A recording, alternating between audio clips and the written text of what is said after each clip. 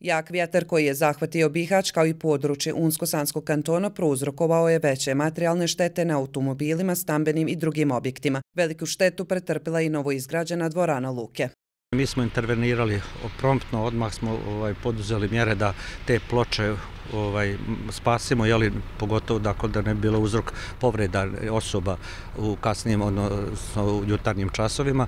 Sklonili smo ih na stranu gdje je to bilo moguće i što je vidljivo, jeli, ta šteta je evidentna ovdje na, na samoj dvorani. U svakom slučaju poduzeli smo sve mjere da to stanje ovaj, saniramo. U srednjoj mješovitoj školi vjetar je odnio i veći dio krova, gdje stanje je alarmantno od mogućnosti urušavanja plafona.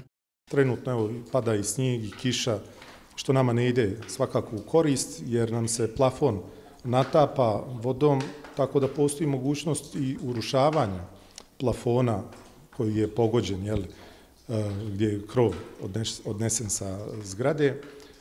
U dogovor sa resornim ministarstvom danas smo skratili nastavu koja je trajala do pola 12. Za sljedeću sedmicu mi ćemo svakako dogovoriti isto tako sa resornim ministarstvom na koji način ćemo izvoditi nastavu.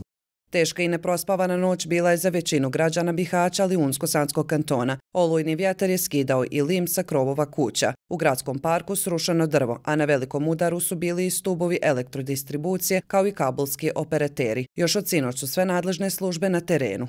To je sve u toku noći. E, određene snage su djelovale na prvom mjestu je vatrogasna jedinica sa svojim kapacitetima koja je e, sve te situacije riješila. E, pored vatrogasne jedinice također angažirali su se predstavnici Zavoda za prostorno uređenje i upravitelji e, zgrada. Jer pored ovih situacija sa drvećem, tu je bilo šteta na objektima, objektima i kolektivnog stanovanja, naravno jedinica civilne zaštite Ljudskih žrtava nema kao ni povrijeđenih. Lokalne vlasti zajedno sa nadležnim službama rade na čišćenju područja pogođenih nevremenom, uključujući otklanjanje opasnosti s cesta. Apeliraju na građane da budu oprezni dok se obavljaju radovi na čišćenju kako bi se izbjegle dodatne nezgode. Također, iz civilne zašte navode da svi građani koji su imali određene štete na objektima u skladu sa propisima u roku od sedam dana od dana današnjeg preko službe civilne zaštite podnesu prijavu za štetu.